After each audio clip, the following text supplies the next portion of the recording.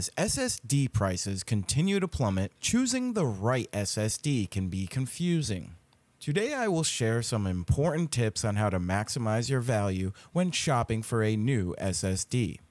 I spent the last month shopping for a 2TB SSD to use as a dedicated video editing drive. I decided to go with an Intel 670p after I found it on sale for $73. Since the price gap between entry level and high end drives has been shrinking, choosing the right SSD is not that simple. When trying to decide what to buy, you must first determine what you are going to be using it for. Here are some things to consider before making an SSD purchase. The main difference between Gen 3 and Gen 4 drives is speed. Gen 3 has a limit of around 3500 megabytes per second, while Gen 4 can hit up to 7500 megabytes per second. In my case, I am using a B450 motherboard which only has two Gen 3 NVMe SSD slots. My first slot has a 1TB Samsung 970 EVO. The second slot is limited by shared PCIe lanes. It will only run at Gen 3x2, which is limited even further to 1970 megabytes per second. When using this slot, my motherboard will disable two SATA lanes. This is very important to note, and you should look at your motherboard specifications to find out if you have similar limitations. This can usually be found on the box, website, and in the manual. Luckily for me, I only have three SATA drives in use out of six slots, so two spots being disabled isn't an issue. For me, picking a 2 terabyte drive was a no brainer. I need as much space as possible since this will be filling my last open slot and the price difference between 1 terabyte and 2 terabyte is minimal. I highly recommend going with 2 terabytes since modern games can take up over 100 gigabytes each and 1 terabyte can fill up really fast.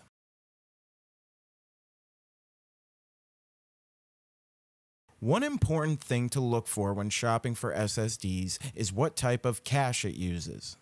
Drives with DRAM have a dedicated memory chip on board that is used for temporarily storing data, similar to RAM on your PC or GPU. In the last few years, an alternate technology has emerged called HMB or Host Memory Buffer.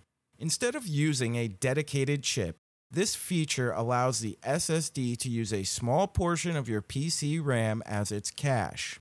This can allow for cheaper manufacturing and in some cases even better performance and lower latency. DRAM is considered to be better for boot drives that will run Windows and other software at the same time. Another instance where DRAM matters significantly is when using external enclosures. It is common nowadays to use a cheap enclosure for an NVMe SSD to convert it into an external drive. This can allow users to benefit from transfer speeds near the 3000 megabyte per second limit of the Thunderbolt port. Unfortunately, HMB technology is only supported by Windows and Linux and does not work properly through an external enclosure. So, if you plan to use a drive externally, make sure it has DRAM. The Intel 670p 2TB has a terabytes written rating of 740. This is high enough to leave me worry free with the amount of stress I will put on the drive. Most people will never come close to hitting these ratings, and they are more of a guideline for warranty purposes, as most drives will outlive the rated numbers. Drives may fail over time, but they rarely die from too much wear.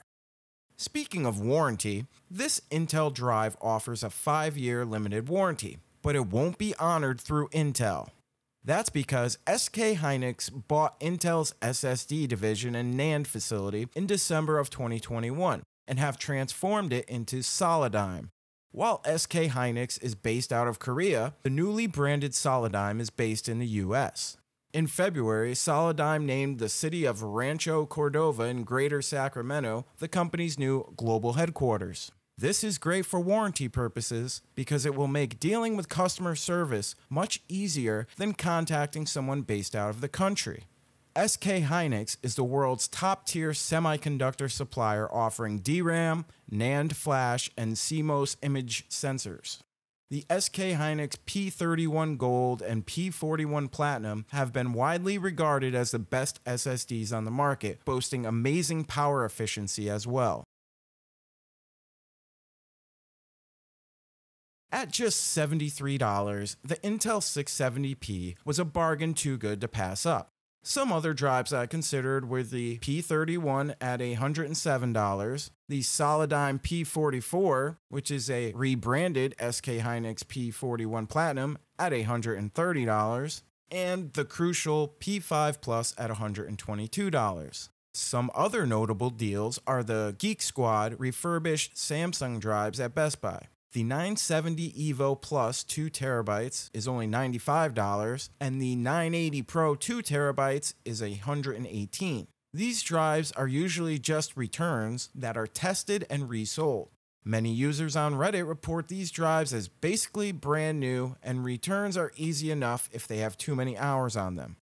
But knowing my speeds would be limited to under 200 megabytes per second, I decided to go with the better value and get the Intel drive. But shortly after buying the 670p, the Solidigm P41 Plus dropped to $75. This is a revised version of the Intel 670p that runs at Gen 4 speeds and has updated software. It also uses HMB instead of DRAM.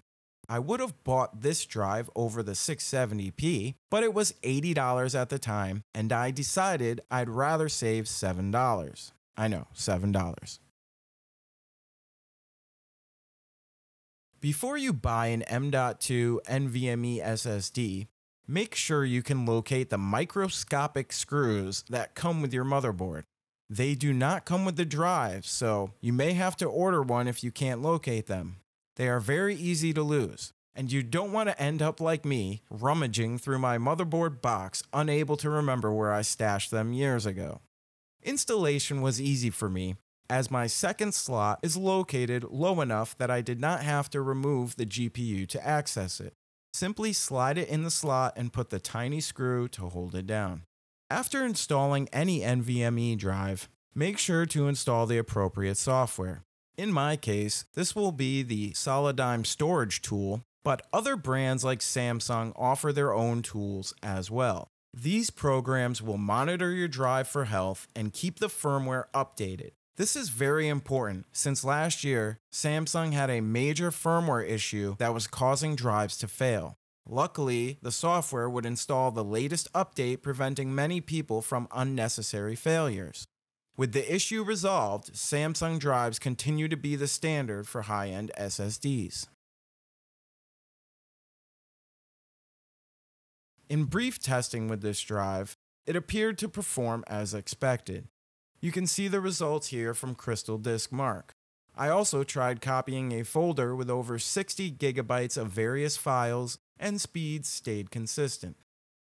I hope my recent shopping experience can help you pick your next SSD. I must warn you though that data hoarding is very addictive and you might just end up like me with way too many drives.